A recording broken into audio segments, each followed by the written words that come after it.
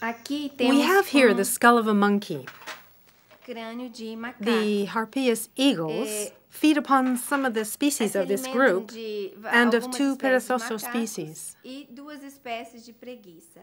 Its favorite monkeys are mainly the Alouatta and the macaco macaco cebos, cebos, de the latter being smaller in size. Essa espécie de macaco posso Uh, so you can recognize them. I'll show you an illustration from this book. The macaco cebus and the two species of duas perezosas. espécies de principalmente fradinha real de Of these, particularly the Fraina real, and among the monkey species, mainly the macaco prego, more common. macaco prego, mais comum. Although it also hunts younger specimens of the largest primate of the woodland, um, Alouatta,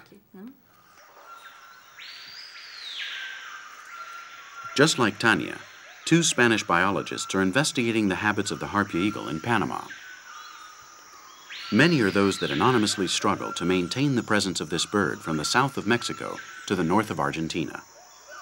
In spite of the menace, the large harpia is in good hands.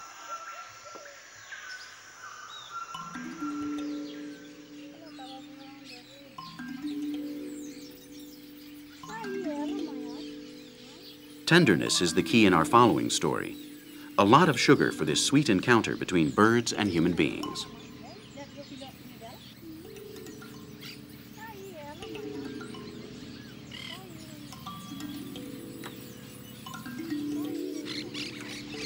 Thousands of kilometers away from the Harpy Eagle's nest, in Puerto Jofre, on the shores of the Paraguay River, Doña Maria sweetens the lives of the sweet-toothed hummingbirds.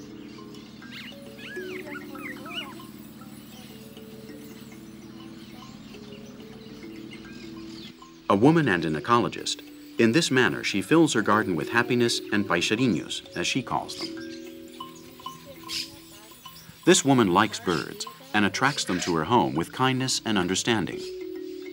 Her garden is a refuge, an oasis in the cruel desert of the bird hunters, and the birds are ever so grateful. In Brazil, many people like herself do not know what it is like to feed a pigeon, but do know what it's like to feed hummingbirds, the identity of the tropics. Besides enjoying this friendly story, it also permits us to get close to surprising behaviors. For example, observe this hummingbird. It feeds on nectar, as do all the members of its family, and that's why it goes up to the artificial flower that Doña Maria has sprinkled with water and sugar. But something is going to make it change its diet today. The ants are attracted by the sweet temptation and get dangerously close to the nest. This will force this nectar-eating bird to devour ants in flight, more in defense of its chicks than as an entree.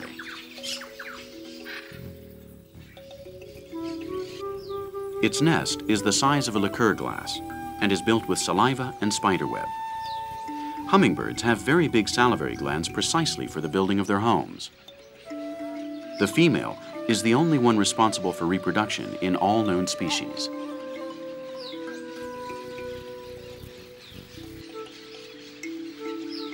The agility, control, and hyperactivity of these animals attract our attention.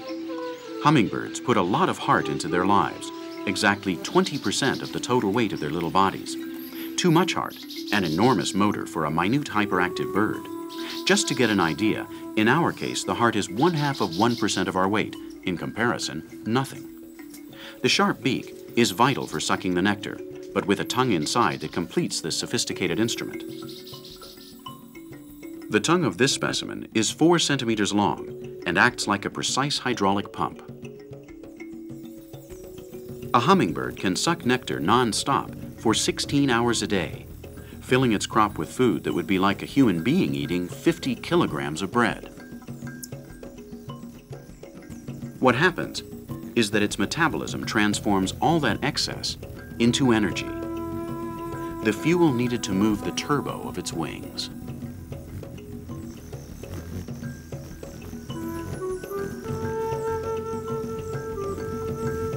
how they move.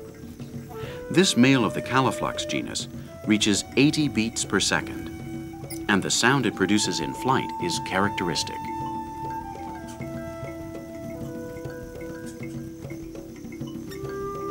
Accordingly, a mosquito moves its wings 500 times in the same period. That's why the buzz it produces is fine and bothersome.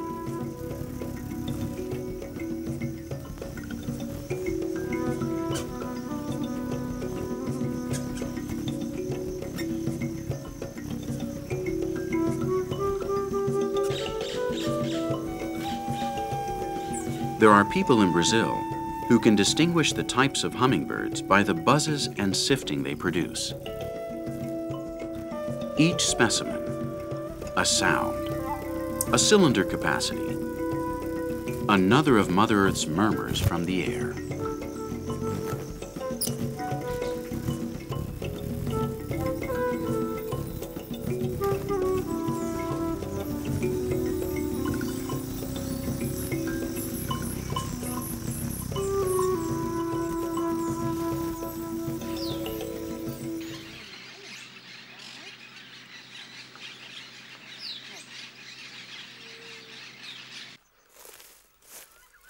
Although all human beings have a right to decent housing, not everyone has that.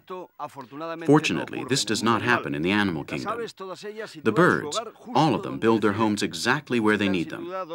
They undoubtedly need experience and knowledge to build beauties such as this one, the Clay Joao house. We invest our money, they invest their time. A male and female have taken a week to build this wonder. We've gotten close to this wonder outside of the breeding season. We won't endanger the reproduction of the clay joao, this little bird, but we will get close to the nest so you can see it to show you an example of an abandoned nest that will no longer be used for reproduction. Show you an example of amazing animal architecture. It's an authentic shell, a shell made of cow manure at times, and in this case of adobe, what we could call adobe a mixture of earth and small straws, of small gramineae. The entrance, as I say, is like that of a snail's shell. It prevents the entrance of any predator. And then we find a cozy chamber, the place where the chicks, the eggs before, are protected from the heat and dust, the harsh climatic conditions. This is a structure that awes me, because among other things, and on top of everything else, it is resistance to the presence of unwanted and undesirable tenants.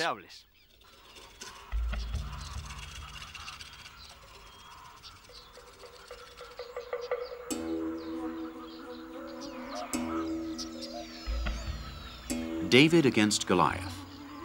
A vulture weighing a kilogram and a half enjoying the light of dawn perched on the clay house of a modest and hard-working bird.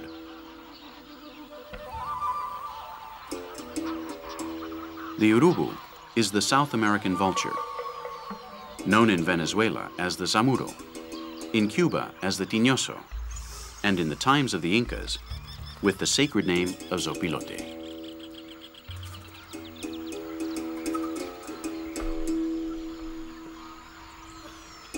For the clay this big ugly bird is neither a god nor a saint. The urubu is a dangerous neighbor that with its weight can destroy its home and family.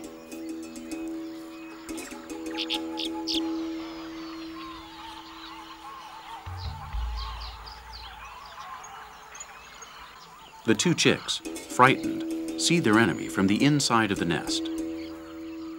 Death is posed on their rooftop this morning, and they know it, because although it is an animal that feeds on corpses, the urubu would not hesitate in having the two little brothers as appetizers in the blink of a beak. It's incredible, but without arms, these two frightened little chicks embrace each other. With their comings and goings, almost nonchalantly, the parents have succeeded in making the urubus go away. Here in the Brazilian open country, it's more important to be clever than strong to get out of difficult situations. Back at home, and out of danger for the moment, the parents check the inside of their marvelous home. It's well built, but the weight of the urubu has made the walls tremble. A few pieces of clay have fallen, as if there had been an earthquake, and now, to get things back to normal, they must be taken away from the presence of the chicks. Peace once again reigns.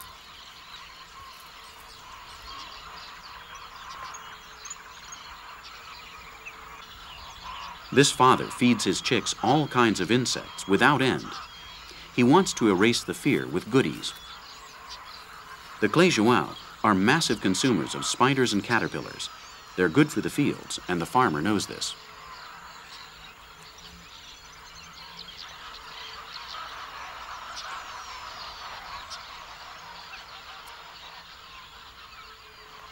Their understanding of the ruling climate is also well known.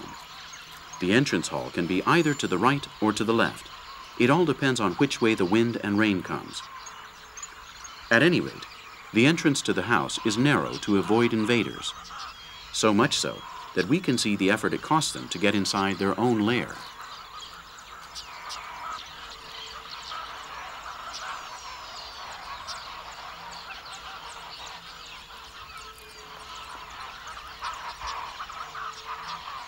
The Cléjouan is a very popular bird in Brazil. Many people have spoken to us about it and about its original sense of architecture.